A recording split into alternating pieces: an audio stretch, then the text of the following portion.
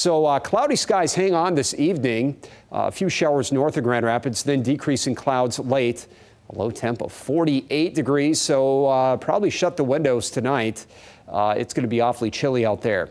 Tomorrow looks good. Not a perfectly sunny day, but as you can see, plenty more sun than what we had uh, today. Some of us didn't see any of that sun at all today.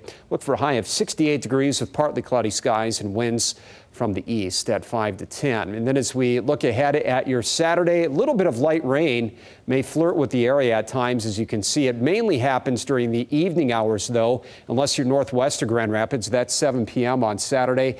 And then some steadier rain moves in overnight into Sunday morning, so that uh, some of us could be talking about as much as a half to three quarters of an inch of rain.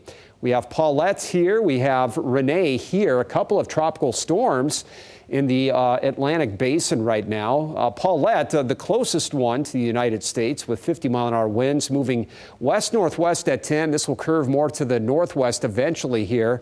This is Bermuda. You can see how close it gets by Monday, and this could actually strengthen to a category one hurricane now. The latest forecast suggesting that with 85 mile an hour winds Monday night into Tuesday as it impacts uh, Bermuda there. So something they will be keeping an eye on. Back here at home in West Michigan, your Fox 17 seven day planner. Plan on a mainly dry weekend, actually, and warmer temperatures with mid 70s for highs. The bulk of the rain that I've been talking about for the weekend will fall uh, after dinner time on Saturday night and before breakfast on Sunday morning. So that's good news if you have outdoor plans. It should be dry during most of your awakening hours. 71 for Monday, a little bit cooler temporarily with cool high pressure building back in, but it gradually warms up towards the middle of the week. In fact, Wednesday and Thursday, those highs centered near 80.